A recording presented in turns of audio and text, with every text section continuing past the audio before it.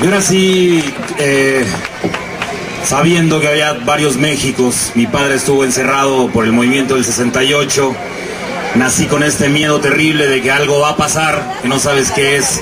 Entonces muchas veces me escondí en ese terrible lugar del miedo. Pero yo creo que la palabra, eh, yo me dedico a hacer cine y a hacer cine de arte para crear conciencia. Creo que la poesía como el arte te puede ayudar a transformar y a transfigurar ese dolor terrible que provoca las pérdidas, que provoca el dolor. Así es que bueno, pues yo confío en la palabra y, y eso es lo que puedo, puedo decir. Mataron los sueños de mi padre en el 68. Solo 40 días estuvo mi padre en Lecumberri y castraron su fe. 43 mueren en Guerrero y despiertan la fe.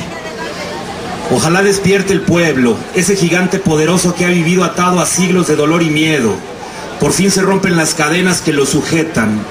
Ojalá la rabia en mi sangre no deje de cesar por esos bárbaros que ríen, se acuestan sin sentir el olor a la sangre. Basta, se acabó la infancia, la obediencia ciega al tirano. Caerán en charcos de vergüenza. Entra poco a poco, entra en su mente la duda. Las miradas nunca habían sido tan escandalosas. Renuncien, sigan renunciando.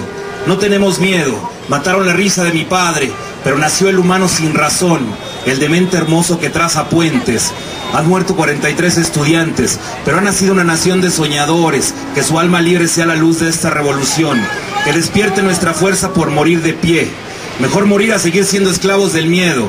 Nada somos en silencio. La muerte hoy es el único grito, el rezo más profundo que nos da un nuevo rumbo.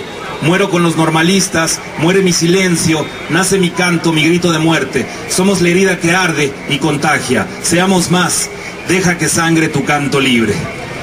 Y pues, vivos se los llevaron, vivos los queremos. Gracias.